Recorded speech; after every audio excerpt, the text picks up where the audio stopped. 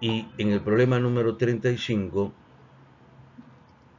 vamos a sacar la figura un poco más grande. Podemos observar eh, una semicircunferencia cuya longitud sabemos que es la mitad de la circunferencia. ¿no? La longitud de una circunferencia recuerden que es 2πr. Así que la longitud de la circunferencia eh, ACB será 2πr sobre 2. ¿ok?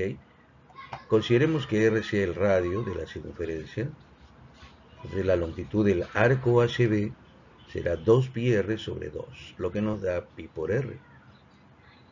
¿Ok? Ahora, por otro lado, necesitamos el arco OD también. Para poder determinar la longitud del arco OD, nos damos cuenta de que el arco OD corresponde a un ángulo central de 90 grados, porque OB y BD son de igual longitud, así que ahí tenemos un cuadrante OBD, lo que significa que el arco OD que necesitamos vendría a ser la cuarta parte de toda la circunferencia de radio R. Entonces lo expresamos de esta forma, ¿no?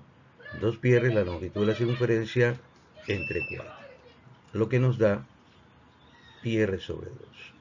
Ahora sí estamos listos para poder determinar la razón de las longitudes de estos arcos. Lo hacemos entonces, operamos y obtenemos la respuesta igual a 2.